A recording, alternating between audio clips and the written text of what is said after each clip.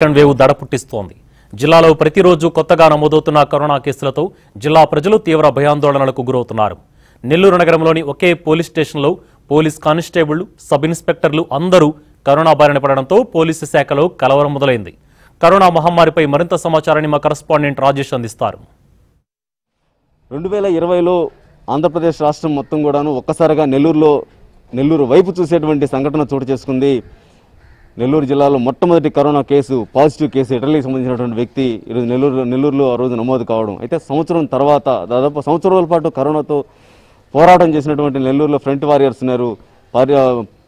కార్మికులు కావచ్చు అలాగే ఇటు ప్రభుత్వ వైద్యులు కావచ్చు అలాగే ఇటు శానిటేషన్ సిబ్బంది కావచ్చు వీళ్ళందరూ కూడాను ఈరోజు పోరాటం చేసి దాదాపు సంవత్సరం దాన్ని నెల్లూరు భారతదేశం నుంచి కూడా తరుము కొట్టేందుకు ప్రయత్నం చేశారు. నెల్లూరులో కనీసం కొన్ని రోజుల తర్వాత ఒక కేసు కూడా నమోదు కాకుండా ఉండేందుకైతే ఎంతవరకు కృషి చేయాలో ప్రభుత్వ యంత్రాంగం కూడాను అంతవరకు తమ వంతు ప్రయత్నం చేసింది. అయితే దాదాపు సంవత్సరాల తర్వాత మళ్ళీ అదే మార్చి నెలలో అదే ఇరవై నాలుగో తారీఖు నుంచి కూడాను దాదాపు మూడు రోజుల క్రితం వరకు కూడాను కేవలం పదిలోపు కేసులు మాత్రమే నెల్లూరు జిల్లాలో నమోదవుతూ వస్తున్నటువంటి పరిస్థితి కనిపించింది అయితే ఒక్కసారిగా ఈరోజు నెల్లూరు జిల్లాలో గత మూడు నాలుగు రోజులుగా ఇరవై ముప్పై కేసులకి నిన్నటి నిన్న కూడా నమోదైనటువంటి కేసుల వివరాలకు వస్తే ముప్పై మూడు కేసులు నెల్లూరు జిల్లా వ్యాప్తంగా కూడా నమోదైనటువంటి పరిస్థితి. నెల్లూరు జిల్లాలో పెరుగుతున్నటువంటి కేసుల సంఖ్య ఒకవైపు ప్రజల్ని భయాందోళనకు గురి చేస్తున్నటువంటి పరిస్థితి ఉంటే ఇటు నెల్లూరు నగరంలోని ఈరోజు ఆరో పట్టణ పోలీస్ స్టేషన్ ఉన్నటువంటి బాలాజీనగర్ పోలీస్ స్టేషన్లో ఈరోజు ఇరవై మూడు కేసులు ఒకసారిగా మెన్ ఏదే తీవ్రంగా ఈరోజు ఫ్రంట్ వారియర్స్గా చెప్పుకున్నటువంటి పోలీస్ వ్యవస్థలో ఉన్నటువంటి పోలీసులకి పోలీస్ సిబ్బంది మొత్తం కూడా ఇరవై మూడు మందికి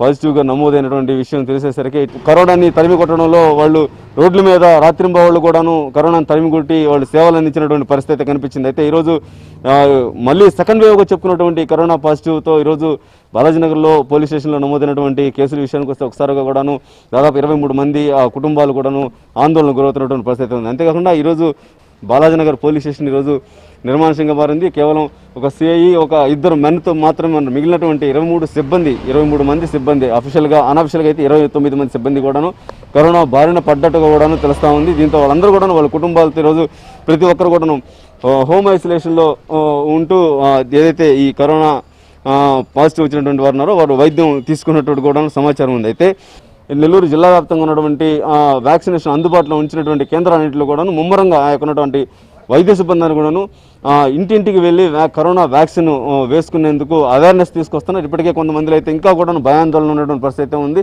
వ్యాక్సిన్ వేసుకుంటే ఎటువంటి ప్రభావం చూపిస్తుంది అనేటువంటి ఒక ఆందోళన నేపథ్యంలో ఈరోజు ఈ వైద్య సిబ్బంది కావచ్చు అలాగే కరోనా ఫ్రంట్ వారియర్స్గా ఉంటున్నారు వీళ్ళందరూ కూడాను ఆ వైద్య వైద్య వైద్యాలయాల నుంచి ఆ పరిధిలో ఉన్నటువంటి ఇళ్ళ దగ్గరికి కావచ్చు అలాగే అక్కడ ఉన్నటువంటి ప్రజలందరూ కూడాను ఈ కరోనా వ్యాక్సినేషన్ మీద ఉన్నటువంటి అపోహ తొలగించి కరోనాను పాల్గొనేందుకు అవసరమైనటువంటి ప్రధానమైనటువంటి ఆయుధంగా చెప్పుకునేటువంటి వ్యాక్సినేషన్ని ప్రతి ఒక్కరికి చేసేందుకైతే ప్రయత్నం చేస్తున్నటువంటి పరిస్థితి నెల్లూరులో ఉంది. ఓవరాల్గా నెల్లూరు జిల్లాలో కొత్తగా నమోదవుతున్నటువంటి కరోనా పాజిటివ్ కేసుల సంఖ్యతో ఈరోజు నెల్లూరులో మరో మరో ఆందోళన స్పష్టంగా కనిపిస్తున్న పరిస్థితి నెల్లూరులో ఉంది. విడజన భాషతో రాజేష్ టీవీ ఫైవ్.